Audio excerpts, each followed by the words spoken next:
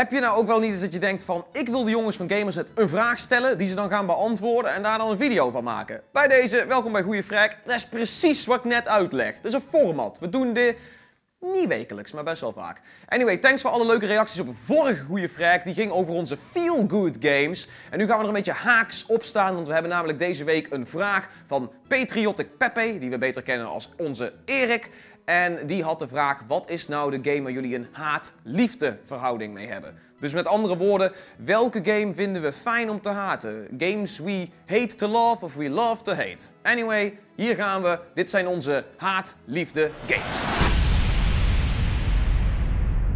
Ik heb een haat-liefde relatie met CSGO. Want uh, het is een heerlijke game om te spelen. En ik heb er ondertussen ik, een paar honderd, ik denk 600, 700 uur in zitten of zo. En het blijft fucking vet om gewoon iedereen helemaal kapot te maken.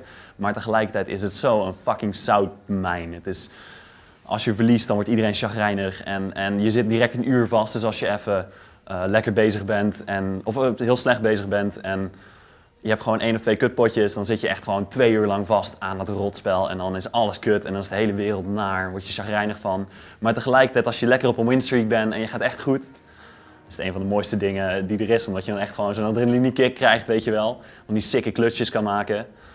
En uh, ja, het, het, kan echt alle kanten op gaan. En dan heb je natuurlijk ook nog het gambling aspect. Ja, geld uitgeven, mooi shit unboxen. En dan gaat al je geld en dan krijg je nooit wat cools. Dat pretty much. Jongens, jongens, jongens, een, een, een, game die haat-liefde, die haat-liefde verhouding uh, laat opspelen. Was op zich aan de ene kant wel een hele moeilijke, maar anderzijds, ja, het gaat over een game die nog niet eens uit is, maar die ik wel al heb gespeeld in de alpha natuurlijk en de, uh, de, de gesloten beta. For Honor. Uh, vorige week, onlangs op de Industry Ball, stond ik ook met die gasten van Ubisoft te praten van, hey, hoe vind je For Honor shit? En die vroegen het aan mij en... Dus ja, ik zeg aan de ene kant is die game zo ontzettend vet. Want die, die Viking Raider die is zo awesome. En als ik iemand zijn kop helemaal in bash en zijn kop eraf ram, dan vind ik het zo ontzettend vet. En dan heb ik echt zoiets van, fuck yeah, goatee! En het andere moment word je gewoon keihard afgeslacht door een voor mij veel te snelle samurai of weet ik veel wat. En dan vind ik het allemaal niet eerlijk. En dan spuur ik op die game dan word ik zo ontzettend kwaad. Dan ga ik zo hard ragen en dan heb ik echt zoiets van, wat een kut game. Godverdomme En uh, ja, toen zei uh, Ubisoft zelf van, nou ja, daar doen we het voor. Dat je het ene moment die game zo vet vindt en op het andere moment vind je die game gewoon super kut. En ja, ik ben, ik ben toch wel benieuwd als die game straks uit is. Ik, ik ga hem reviewen en het is echt zo van, ja, dit gaat wel een hele moeilijke worden ook. Uh, ja, dat is wel een beetje nu al de haat-liefde verhouding met de game die nog niet eens uit is. Gewoon vooral als je aan de ene kant denkt van...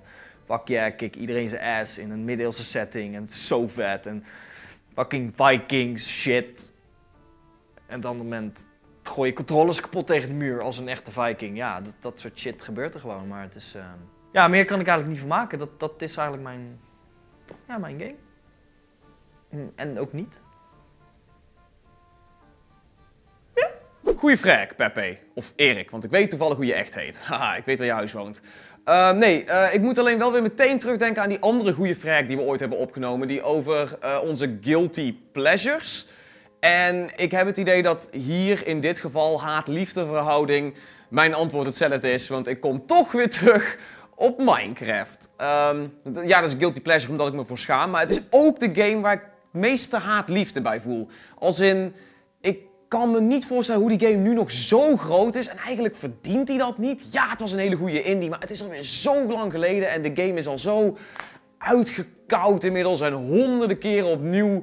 Ja, iedereen probeert het maar een beetje te kopiëren en zo. En ergens, ja, god, ik hou er enorm veel van om af en toe helemaal verloren te raken in het spel. Maar ik haat het spel ook, omdat ik dan altijd weer denk van... Waar ben ik toch mee bezig? Dat ik 20 uur kan doen over een fucking boomhut bouwen. Of dat ik dan toch weer denk van waarom ga ik telkens weer terug naar, de, naar dan die Gamersnet server. Als die, weer, als die weer tot leven wordt geroepen, dan gaan we weer terug naar de Gamersnet server. Dan ga ik weer dingen doen en dan... Oh my god, het is echt het spel waar ik de meeste frustratie bij voel bij mezelf. Omdat het is, ja, het is zo goed, maar nee, het verdient niet nou nog zo enorm groot te zijn. En, en door miljoenen kinderen gespeeld te worden en, en geadoreerd. Nee, echt absoluut niet. Dus uh, Nee, grootste, grootste haat-liefde die ik voel bij een game, eh, toch Minecraft. Sorry Notch. Sorry heel de Nederlandse YouTube community. Nee, het is, het is niet mijn game. Maar het is ook wel weer mijn game. Maar het is niet mijn game. De game waar ik een haat-liefde relatie mee heb, is eigenlijk een game die al vrij nieuw is nog. Hij is eh, deze week uitgekomen, dus eigenlijk vorige week wanneer je deze goede frag ziet. Het is namelijk de mobiele game Fire Emblem Heroes. En de reden waarom ik dit een haat-liefde game is, is omdat ik een fucking grote Fire Emblem fanaat ben. En ik deze game ook echt daadwerkelijk heel erg tof vind. Maar het is niets meer dan een game die al 80 keer in de Play Store te vinden is onder andere namen. Zo heb je bijvoorbeeld precies dezelfde opzet voor Digimon game, een Dragon Ball game, een One Piece game. Je hebt letterlijk 80 andere originele, originele spellen die ook ditzelfde format aan gameplay gebruiken. Je, basically, waar het om neerkomt, het is een gashapon game. Je summont gewoon helden uit de Fire Emblem games. En die verzamel je in het spel. En het is natuurlijk het leukste als je de heroes krijgt die jij het vetst vindt. Ben je een fucking grote Ike-fan, dan is het natuurlijk leuk om Ike te krijgen. Of gewoon Roy of Marv of noem het maar op. Of je bent zo'n uh, zo'n vieze, zo'n viezerik die alleen alle waifus wil hebben. Dat kan ook. maar uh, online gaan de mensen alweer natuurlijk los op fora van... Uh, ja, wat is nou het sterkste team? Wat zijn de sterkste units? En ja, als je echt bij wilt blijven, dan moet je of ontzettend veel geluk hebben... of, je raadt het al, ontzettend veel geld opofferen aan de Nintendo Overlord. En ja, dat moet je er maar net voor over hebben. Hello darkness, my old friend. Erik, goede vraag. Gefeliciteerd met je afstuderen ook. Top, goed gedaan. Uh, maar je vraag. Haat, uh, liefde, verhouding met welke game? Daar moest ik lang over nadenken, omdat ik eigenlijk alleen maar games speel die ik heel erg tof vind. En die, de haatmomentjes zijn voor mij eigenlijk altijd games om te stoppen. Op eigenlijk één game na die ik niet... Uh, kijk, de Uncharted franchise is voor mij de grootste haat-liefde verhouding. Want ik, ik erken de kracht van Uncharted. En ik vind het een hele vette gamereeks. Het ziet er fantastisch mooi uit. Het schieten is lekker. Alleen bij sommige games is doodgaan gewoon niet zo erg. Weet je, dan word je keer kapot gepoft. Weet je, respawn, je ga je door. Maar bij Uncharted, zodra je wordt neergeschoten. Ik weet niet wat het is met die game, maar de haat komt zo in me naar boven. Het is echt heel erg. Zodra Drake het is een nare manier van doodgaan in die game. De camera zoomt zo leem uit en dan ben je gewoon... Uh, je bent gewoon fucking dood, weet je wel. Dan moet je weer heel ver terug naar een save point van waarschijnlijk weer 6, 7, 8 minuten geleden. Ja, dan denk je nu van, god, dat is heel kort. Vroeger was het een uur dat je terug moet opnieuw doen. Maar tegenwoordig is dat al lang. En ik vind het zo irritant. Het wordt ook per gevecht, weet je wel. Waardoor je echt, als je soms een moeilijk gevecht hebt, gewoon niet door dat gevecht heen komt tot de laatste baas. En dan toch weer doodschoot en dat hele gevecht weer opnieuw doen. I don't know. Het is een vervelende game om dood te gaan. Het is een heerlijke game om niet dood te gaan. Gamerzet.nl Zou ze echt op de pack moeten zetten? Ik denk dat Uncharted dan echt gewoon goed zou verkopen. nee, nee, mag weg. Ja, daar heb je dan maar liefst vijf haat-liefde games voor ons. Games die we van houden om te haten of die we haten om lief te hebben. Nou ja, anyway, we zijn natuurlijk ook benieuwd naar wat jouw haatliefde game is. Laat hem vooral hieronder in de comments achter. Wij zijn gewoon benieuwd naar welke games jullie nou wel of niet lief hebben. Misschien zijn het wel dezelfde als een van onze redacteuren zijn. Mag ook, kan allemaal.